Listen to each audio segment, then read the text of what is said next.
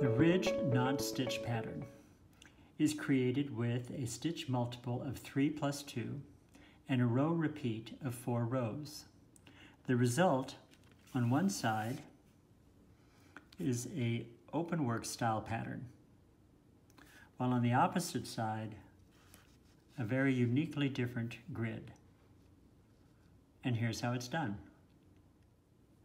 Row 1 in this stitch pattern couldn't be simpler. All you do is knit every stitch to the end of the row. Row 2 is the interesting part of this stitch pattern. It starts with one knit stitch. Then bring your yarn to the front and you're going to purl three stitches together. Now do this using only the tips of your two needles.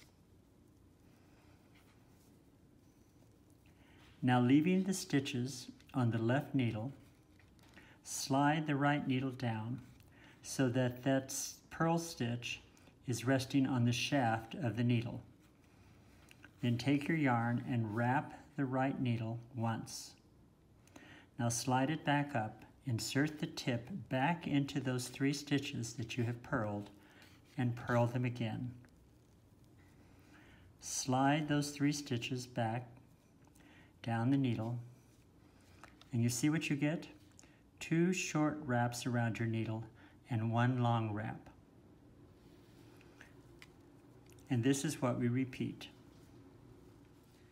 Now it's important to understand that when you're working this row, that you are using the tips of your needles to purl the three stitches together, but you're using the shaft of your right needle to determine the correct size of your stitches that you're creating because it's the, the actually the circumference of this needle that creates and defines the size of every stitch.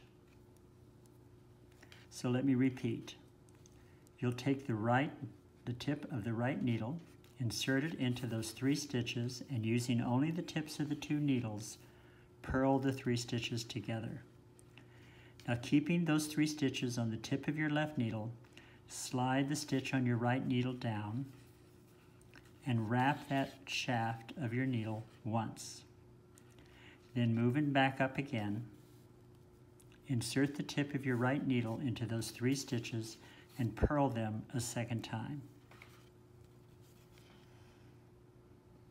Now when you're at the last stitch in your row, just knit one stitch.